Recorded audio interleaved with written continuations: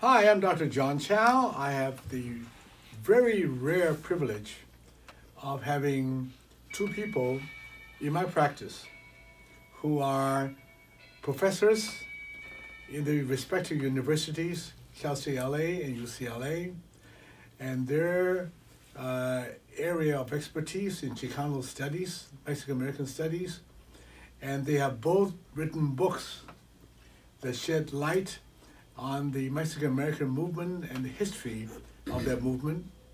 So I have arranged for both professors to be here. And so uh, before uh, we do anything else, I would want to introduce uh, Professor Robert Chao Romero from UCLA, tenure professor in the um, Mexican American Studies, Chicano Studies of UCLA, and Professor Negrete, who has been a patient of mine for many, many years. And he's a he's professor, a tenure professor from Cal State LA, where I also attended before I went to dental school at USC. And so, uh, Professor Romero, would you tell us a little bit about the book that you wrote? And uh, give us a little summary of what you did, and maybe we'll ask you some questions on it. Certainly, sure, for sure. Well, it's a privilege to be here to talk about my book. Um, the book is called The Chinese in Mexico, and it is really a kind of a study of myself, so to speak. Um, my father um, was was an immigrant, is an immigrant from Chihuahua, Mexico, and my mother an immigrant from Hubei in central China. And this book sort of tells us the history of the Chinese community in Mexico, unknown to most people. Um, about 100 years ago, the Chinese were the second largest immigrant ethnic group in all of Mexico. Uh, we were present in basically every state in Mexico. And we, we made our way to Mexico because of, unfortunately, because of, of the anti-Chinese laws in the United States. And so in 1882, um, the Chinese community um, was banned from the United States, and, and, and that ban basically lasted more or less, with certain exceptions, until about 1965. And so after being excluded from the US, many Chinese immigrants went to Mexico as a way of looking for economic opportunity and also as a way of um, entering the U.S. And so, un- unknown to many people, the Chinese the Chinese invented undocumented immigration, and the Chinese were actually the first um, undocumented immigrants from Mexico. So, all, all the processes of, of undocumented immigration in terms of smuggling on the border, fake papers, all those things, invented by my people. Um, in terms of just one more thing, so many Chinese also went to Mexico a hundred years ago because of economic opportunities, especially in northern Mexico. There were many um, opportunities for to, to be successful in commerce because of of sort of the development of urban centers in places like Sonora and Chihuahua, Mexico. And so many went and, and became um, small scale merchants. And very sadly, one of the things that happened was that um, Mexican revolutionary um, patriotism coincided with anti Chinese um, sentiment and laws and movements and the Chinese were actually um, expelled from uh, Mexico in 1931. The entire, the entire Mexico nation or just certain states? So the expulsion was specifically from the state of Sonora, but the anti-Chinese movement itself, it was sadly, very sadly, throughout Mexico, mm-hmm. and th- that that extreme vitriol against the Chinese community in Sonora, it had a ripple effect. Mm, um, I see. It had a ripple effect. But they were kind of victims of their own success, wasn't it?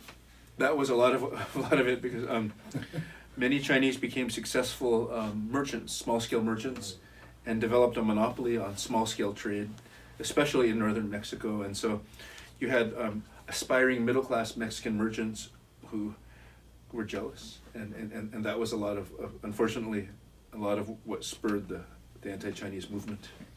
Mm-hmm. Yeah, that's very interesting. Professor, do we have any questions for Professor Romero? Well, is that still going on now? The anti-Chinese uh, racism? So um, my, my, my experience and observation from scholars who have brought the research more up to date, like my study ends in 1940, um, more of a historical study. Um, there is some anti-Chinese sentiment, I think, in Mexico, but it, it's not strong. It's mm-hmm. not strong. anymore. Um, I think largely because the Chinese presence is much more limited. It's significant. There's probably maybe five thousand people or so, but but I think that it's not that prominent enough to, to kind of stir that type of, of backlash. Are you saying that only 5,000 Chinese are in Mexico? Yes, more or less. That's like just amazing. Now, no, only Mhm. 5,000? you know the numbers could have shifted over the years. I but- thought there were about 5,000 Chinese restaurants over there. it's funny. I just ate in one, I just ate in one of them a couple of weeks ago. Um, so the the the, the uh, area of Mexicali that Yeah. borders Calexico, it's still famous for its Chinese food, and you have uh, New York Times articles, and I've been interviewed for like NPR stories about that food, which is pretty fun if you want to look into that. But um, but it is a relatively small number. It might be more than five thousand, Uh, but not much more actually. Not much more. Amazing. Yeah. Now, both of you are in academia. Do you think the Asians, not necessarily the Chinese, the Asians are again the victims of their success? Because now there is complaints by some Asian students that because they do so well, they're actually not getting their share of admission into the Ivy League schools or Mm. the high high end schools. So I'd, I'd love to hear from Professor Negrete, and I, I'm happy to respond as well. How's the, how's the question relating to uh, the Mexican American relationships with other minority groups in California? Well, there doesn't seem to be too much racism against Chinese among the Mexicans in California. At least you never hear about it. Yeah, And, so, um, yeah. But uh, I understand from reading your book that uh, this was a very severe, extensive problem in Mexico, Mm-hmm. especially because of the uh, uh, the anti-Chinese legislations and prohibitions against immigration in the United States that made it very difficult for Chinese to come into this country, but eventually some, most of them did. And I'm glad to see they're here. They're adding a big dimension to the Yeah. cultural, historical development of uh, America as a bi-nation, bi-cultural nation, or multi multicultural nation with multi languages spoken in this country, and it's made America great, in my estimation. Mm-hmm. Yes, definitely. I'm very fortunate to be able to come to America when I was only 14 years old, and uh, that was uh, that was before the open door policy it became effect came to Mhm. effect in uh, in the 60s. So the fact that uh, our family was able to move here, that was quite a phenomenal uh, accomplishment uh, by my by my father. I mean, I'm glad and, and come to America and be able to avail myself of the opportunities that America offers uh, someone who's willing to work hard and uh, show uh, show um, the spirit of um, um, adventure and spirit of innovation. So I'm very glad to be here, and I I think. Do you not think that it is uh, that uh, no one no one is more appreciative of American culture than immigrants? Oh, absolutely. And I think it'd be wonderful if uh, immigrants from China and from Mexico and the United States would get together and work together to make this a stronger country. I, Yes. the, the thing that impresses me about American history is how immigrants have come to this country and have, and have helped the country to succeed both in international relationships with other countries of the world and with international relationships among the immigrants from many different countries to the United States. But I, I can see a uh, possibility, uh, hopefully, for people from China and people from the Mexico, they get together in America to form a stronger alliance for justice for all minority groups in this country. hmm And we have the example in your family. Yes. A good mixture, nice Right. mixture of Mexican American and, and Chinese cultures. I think so. Yeah, you're a good example of that. and, and I think that um, kind of one historical lesson there is that um, unfortunately in oftentimes or sometimes in U.S. history like different ethnic groups get um, kind of pitted against one another. Yes. And so, a hundred years ago, it was as as as our Chinese ancestors were excluded. Um, groups like Italians and Irish actually were also being excluded, but but we were often pitted against one another. Mm-hmm. Um, the newer immigrants pitted against the older immigrants, and the same thing today. Oftentimes, where um, as Asian Americans, we can sometimes be portrayed, positioned as a wedge as a wedge group, even though we have this, for example, the same history of of exclusion. And so, so I, I hope that, that, those lessons from history can bring us together and make us stronger, um, yeah. because it's all over history. Yeah, it's a, it's a good start. So, Professor Negrete, would you tell us a little bit about your book? Well, my book on, uh, on Chicano homeland, oh, the yes. movement in East LA for Mexican American power, justice, and equality.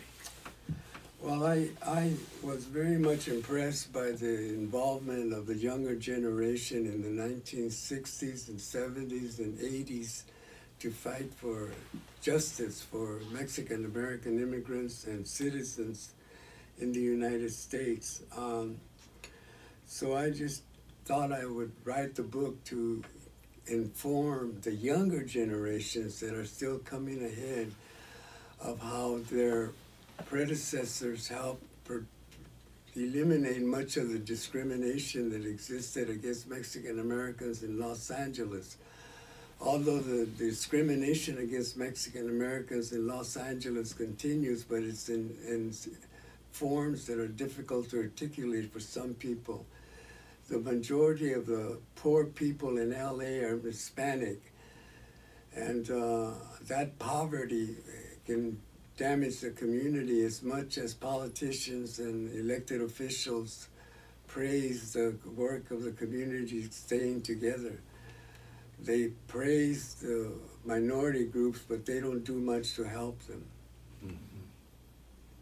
So, this book is, is goes into the history of um, of a Chicano movement being born in East LA, and then uh, and your and your giving the history of it would point the way to further uh, continue the, the, movement in terms of obtaining fairness and justice.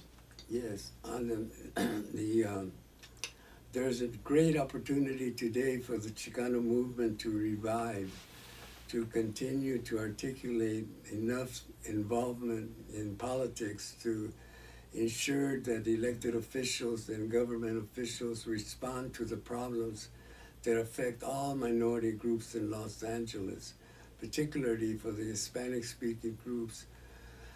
I am glad to see the movement has re resulted in achievements and to the extent that Mexican American immigrants are now found working for the police department, for the hospitals, for businesses, for corporations, for nonprofits to bring some progress to this country, which I think is we can be grateful, but we can't allow the uh, overt racism to continue or, or, to come back against Mexican Americans.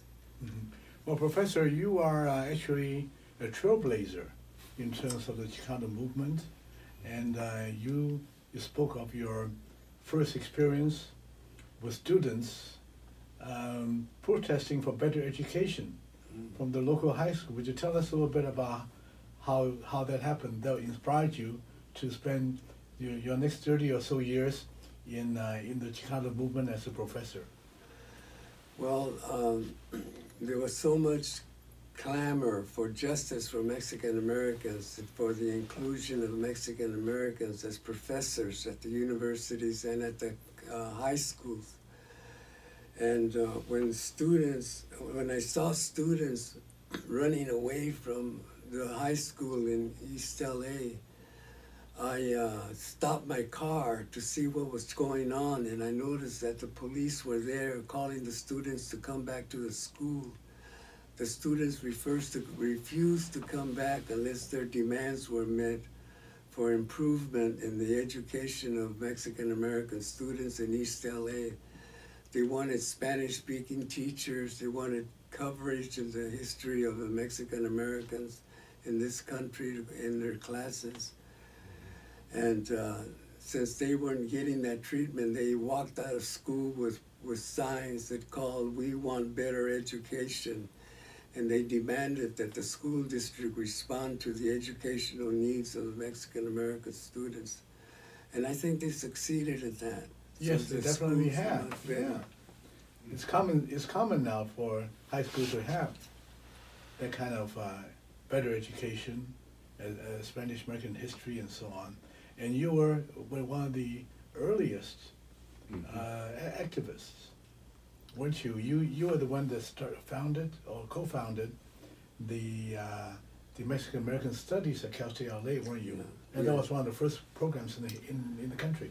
It was the Department of Chicano Studies, which was brought about in response to demands from Chicano students at Cal State LA and throughout the southern Los Angeles region. And now we have departments of Chicano studies all across this country, which uh, I think will invite students to be more concerned about how the laws and uh, discrimination affect different minority communities. And so that the Mexican American community still has a great potential to be part of the civil rights movement in the United States that involves all minority groups. hmm And we have a great deal to be thankful for that you were in the forefront of uh, and instigated uh, these uh, were part of the uh, the genesis of this movement. And you're one of the founders and trailblazers. We want to thank you for that, Professor Negrete. Thank you very much. Thank you for joining us.